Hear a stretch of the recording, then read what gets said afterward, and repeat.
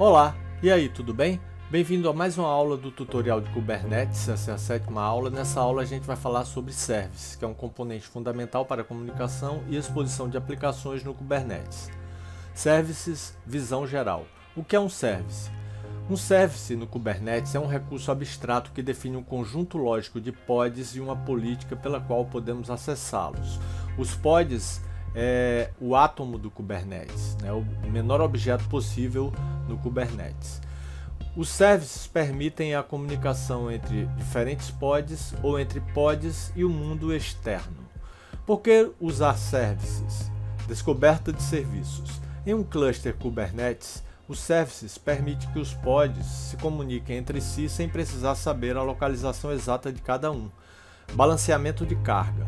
Os services distribuem automaticamente o tráfego de rede entre os pods, permitindo balanceamento de carga e alta disponibilidade.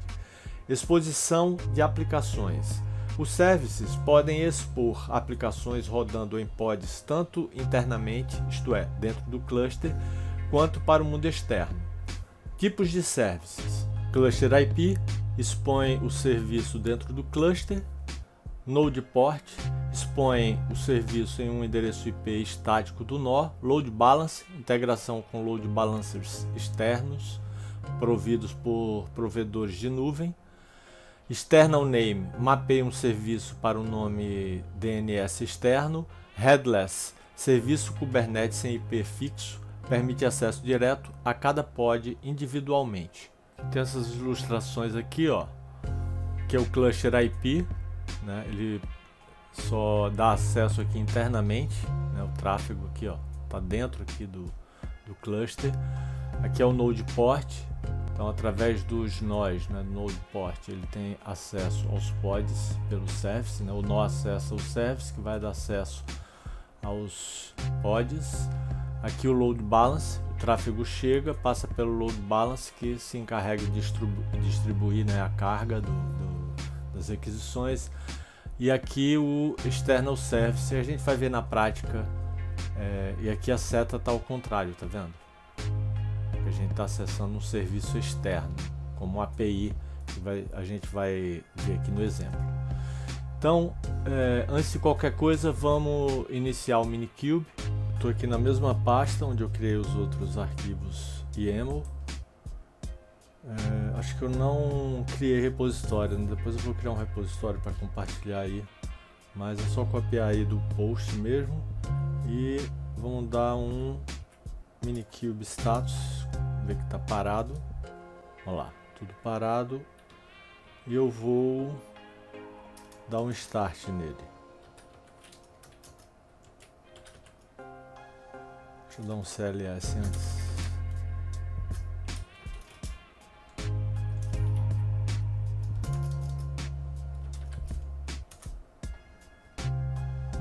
Enquanto ele está startando, depois a gente dá um minikube status para ver se vai estar tá tudo certinho lá. A gente vai precisar de um deployment, né? Que a gente vai ter que ter antes de iniciar um service, né? A gente tem que ter já os pods rodando e a gente vai fazer isso através de um deployment, né? criando um deployment. A gente tem um é, que foi criado, né? Eu no caso aqui no meu na minha máquina tem um que foi criado na aula passada começar dando esse comando aqui, depois eu vou deletar ele ó, com esse comando. E aí vou criar um outro deployment igualzinho. Aqui, ó. vamos lá. Já finalizou aqui, já subiu.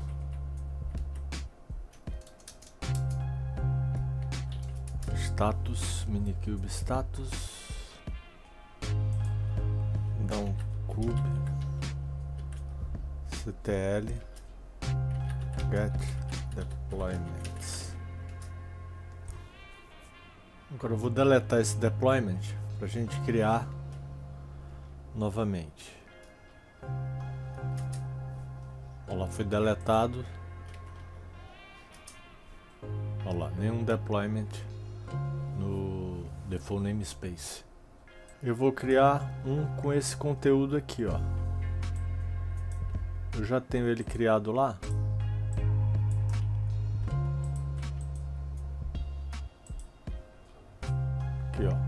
Nginx Deployment. Eu vou sobrescrever aqui, só para desencargo e criado o deployment. A gente pode dar um get pods para ver os três pods aí rodando. Aí estão rodando. Voltando aqui ao post. Então, o primeiro tipo de service que a gente vai criar é o cluster IP. É um tipo de service padrão, ele expõe o service dentro do cluster em um endereço IP interno. Isso significa que o service só é acessível dentro do cluster. Uso prático. Utilizado para comunicação interna entre aplicações dentro do mesmo cluster, por exemplo, um front-end em execução dentro do cluster que precisa se comunicar com um back-end também no cluster. Isso é útil para a comunicação entre serviços dentro do cluster, mas não para acesso externo. Né? Então, ó, a gente vai criar um, um service, também usando sempre o Nginx aqui, né, como o app é, dentro do cluster. E então vamos criar esse cara daqui, ó, cluster IP traço service.yml. Então vamos lá. Aqui eu vou criar esse cara.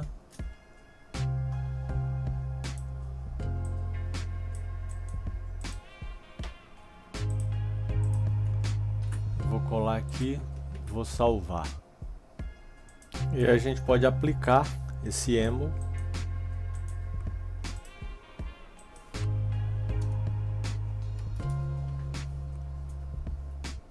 service criado, pode dar um kubectl get service. Vamos lá. My cluster IP service. My cluster IP service. A gente pode dar um describe. A gente tem mais informações detalhadas aqui. Ó, que ele trouxe os endpoints aqui nesse describe, mas a gente pode pegar com esse comando aqui os endpoints pegar os pods ligados a esse deployment que está ligado a esse service que a gente criou a gente pode pegar o log e aí a gente coloca o nome do pod que a gente quer pegar o log aqui, ó.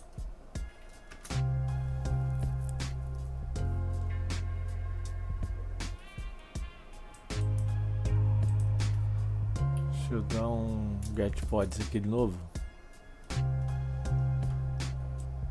Vamos dar um comando dentro do de um pod desse aqui, nesse aqui do meio, por exemplo. Vou pegar aqui o nome. Então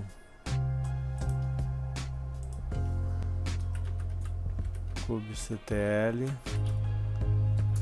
exec it nome do pod menos menos curl http dois pontos barra barra localhost dois pontos 80 porta 80 ele vai trazer o HTML do Nginx ó Welcome to Nginx, né? Trouxe o HTML de dentro do daquele pod lá que a gente entrou.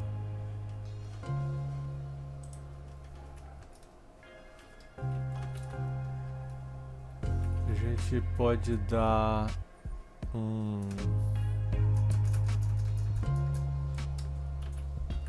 barra bin barra bash é, dentro desse. num bash dentro desse pod, né? Exit aqui. Então a gente já fez isso aqui tudo. Deixa eu dar esse comando aqui.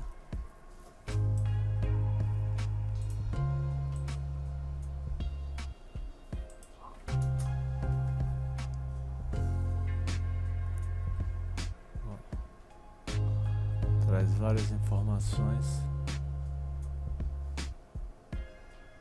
Em seguida aqui tem a explicação do que é cada parte dessa aqui no YAML. Eu vou pular essa parte. Se vocês quiserem é só dar uma lida.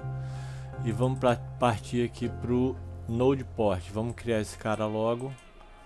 É, aqui. Vamos chamar ele de node-port-service.yaml. E dentro dele fechar esses outros. Vai colocar esse cara daqui. Salvar. Mesma coisa, vamos aplicar esse emo com esse comando aqui. Então, ó, se eu der um get services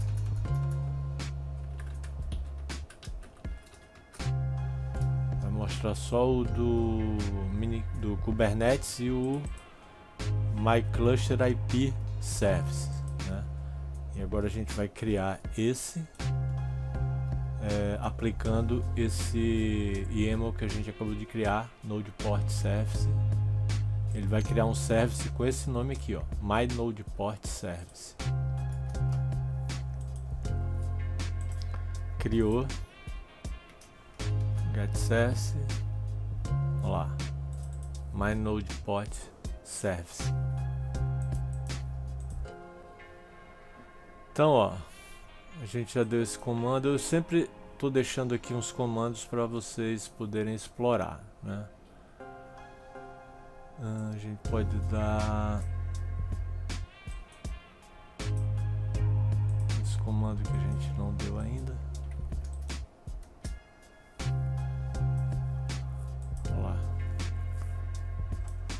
E agora, ó, eu posso acessar através desse endereço aqui Deixa eu abrir aqui. Vou colar aqui, ó. O IP e essa porta por dentro do, da página do Nginx. Eu peguei esse IP aqui, ó. Esse cara daqui e a porta essa daqui. 30.007.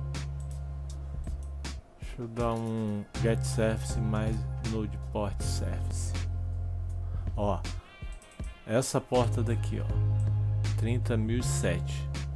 Por isso que aqui, ó, para acessar a gente colocou a porta 30.007.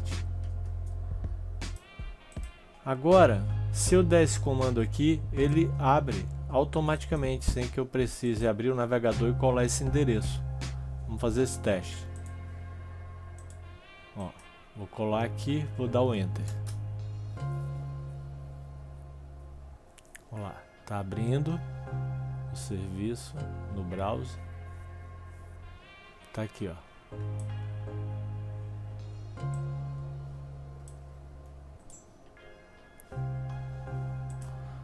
Então, isso aqui também tem explicação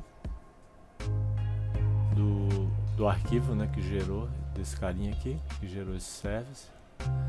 A gente tem o load balance. E aí, ó, esse tipo de serviço expõe o service externamente usando o load balance de um provedor de nuvem. Ele atribui um IP externo ao service. Uso prático, ideal para distribuir o tráfego de internet para os pods, comum em ambientes de produção para aplicações web. Observação: o tipo load balancer no Minikube difere de um ambiente de produção em nuvem, onde o IP externo seria fornecido pelo provedor de nuvem e o tráfego seria distribuído entre os nós do cluster. Como funciona? O Service Load Balancer cria automaticamente um Load Balancer externo se estiver rodando em um provedor de nuvem que suporta Load Balancers e direciona o tráfego para o seu service. Quando você cria esse service em um ambiente como o Minikube, o Minikube simula um Load Balancer fornecendo um IP externo acessível. Em um ambiente de desenvolvimento local como o Minikube, o tipo Load Balancer funciona um pouco diferente, pois o Minikube não pode provisionar um load balance real. Em vez disso, ele irá atribuir um IP acessível para simular um load balance. Você pode acessar esse serviço no Minikube usando o comando minikube service My Load Balance Service. Igual a gente fez lá com o Node Port, né? Esse comando aqui. Só que aqui no caso usando o Load Balance que a gente vai criar aqui dentro do Minikube. Então aqui um exemplo prático. Né? Suponha que você tem uma aplicação web que está recebendo volume crescente de tráfego. Para lidar com essa demanda, você decide escalar horizontalmente a aplicação, adicionando mais instâncias, pods, para distribuir a carga. Implementar múltiplos pods. Primeiro você implementa múltiplos pods da sua aplicação. Cada pod é rotulado de forma adequada para ser identificado pelo service. Esse deployment aqui é exatamente o que a gente já criou no início da aula. Então a gente primeiro implementa múltiplos pods da aplicação, a gente já criou, né, foi através desse deployment no início da aula, é, e depois criar um service para balanceamento de carga, né, um load balance. A gente vai criar ele assim. Então vamos primeiro criar o arquivo.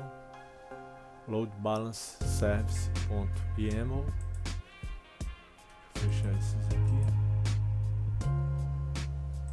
copiar. Colar salvar. Vamos aplicar aqui ó. Kubectl apply "-f o nome do arquivo yaml eu dar um cls aqui. Agora eu vou dar o comando. Kubectl apply-f load balance service.yaml que é esse arquivo aqui, né, que eu quero aplicar. Já criou.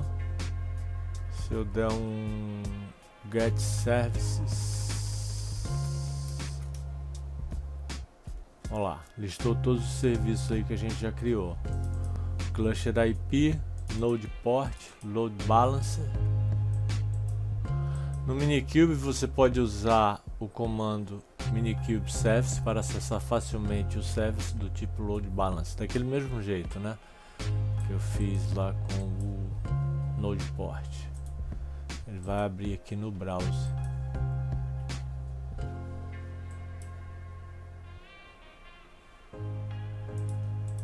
Aqui, ó, abriu no browser.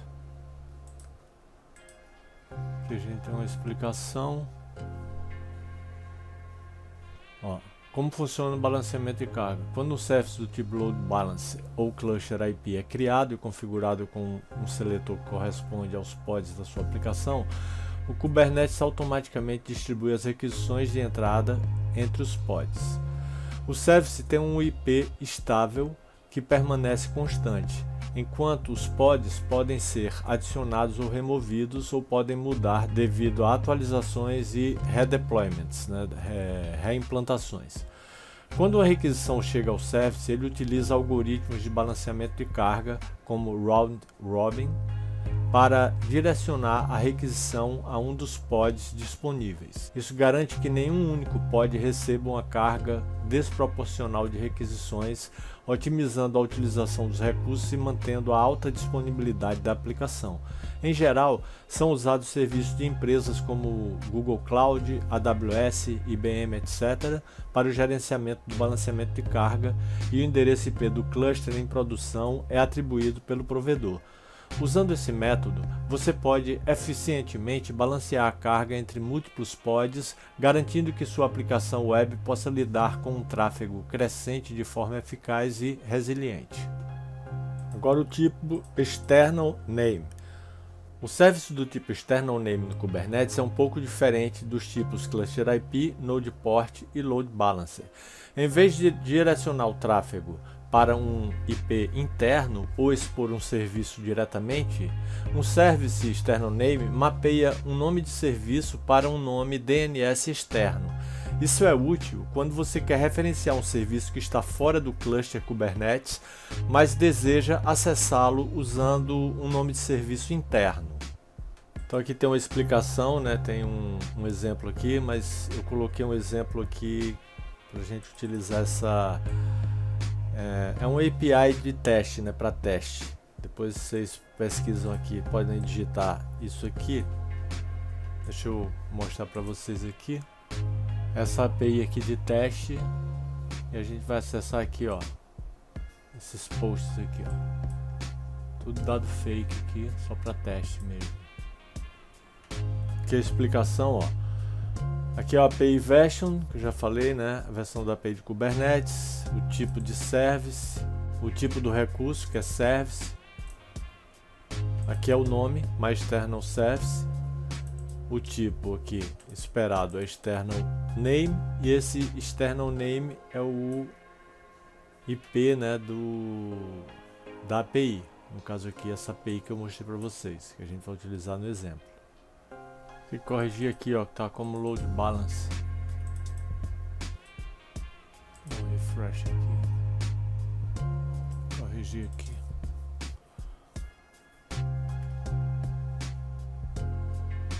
Então vamos criar o nosso external name.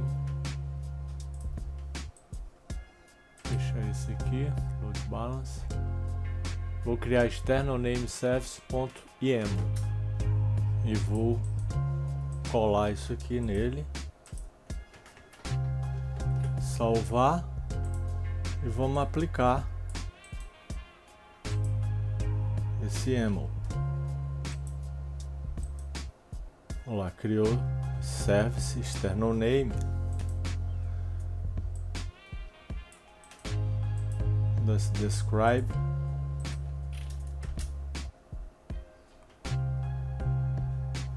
Embora não seja possível pingar diretamente um service do tipo external name, você pode executar um teste DNS de um pod no cluster para confirmar se a resolução do nome está funcionando.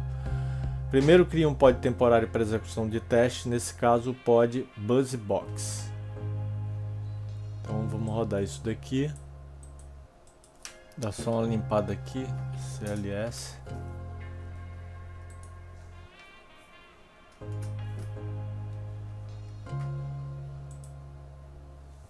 Olha lá, já estou no shell dentro.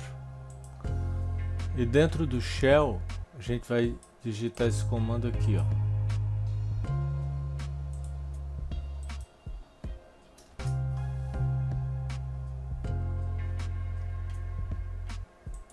O NSLOOKUP é uma ferramenta usada para consultar servidores de nome de domínio, DNS, para descobrir o endereço IP associado ao nome de domínio ou vice-versa.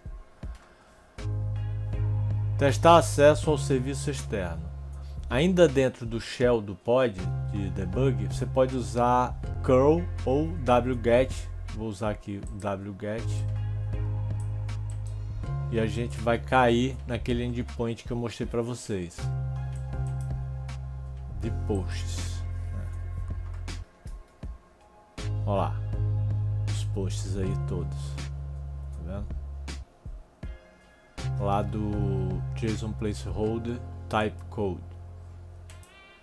E por último, é, eu nem vou criar é, o serviço headless é, em Kubernetes é usado quando você deseja agrupar um conjunto de pods, mas não precisa de um único IP estável para o serviço.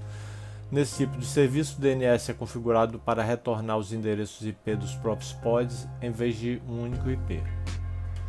Exemplo clássico de uso de um serviço headless é com stateful sets. Stateful sets são usados quando você precisa manter o estado nos pods como em banco de dados. Cada instância do banco de dados precisa ser acessível individualmente para operações de replicação, backup ou outras tarefas administrativas. Imagine que você tem um cluster Kubernetes com um stateful set para um banco de dados como o PostgreSQL. Cada instância do banco de dados, não pode, precisa de sua própria identidade e armazenamento persistente. Com um serviço headless, cada pod pode ser acessado diretamente, permitindo operações específicas em cada instância do banco de dados. Aqui tem um exemplo de definição de um serviço headless usando também o Nginx, né? Eu não vou criar porque a gente já criou todos os outros, é a mesma coisa, só aplicar aqui o, o YAML, né? tem esses. Você pode pedir ó, get service, você pode colocar só SVC que funciona também. Né? Enfim, aí faz alguns outros testes aqui. Isso aqui para deletar um service, você dá um kubectl delete service e aí você coloca o nome do, do service que você quer deletar. Isso aqui para você ter mais de uma versão da aplicação e servir de acordo com o que você quer, uma versão ou outra da aplicação. Ó.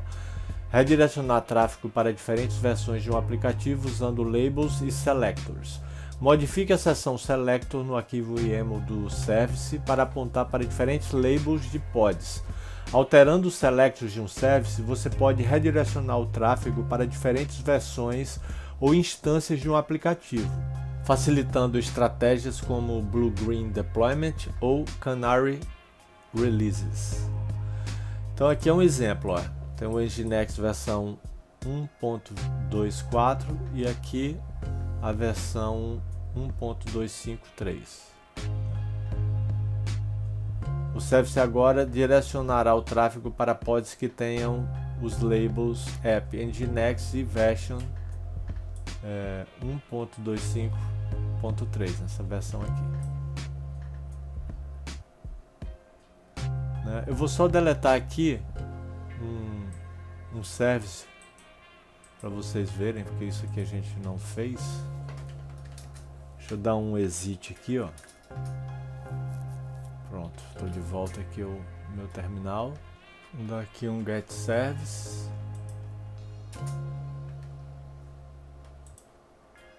Aí a gente pode digitar kubectl delete service e colocar o nome do service que a gente quer deletar. Vamos deletar aqui um por um.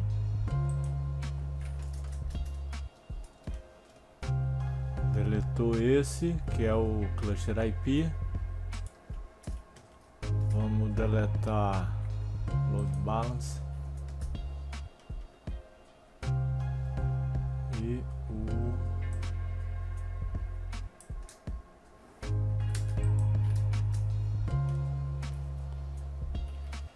dar um get service aqui para ver quais que sobraram. Tem esse JSON placeholder que é o external name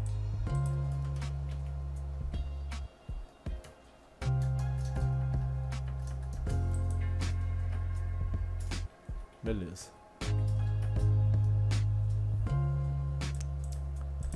Então vamos só concluir aqui.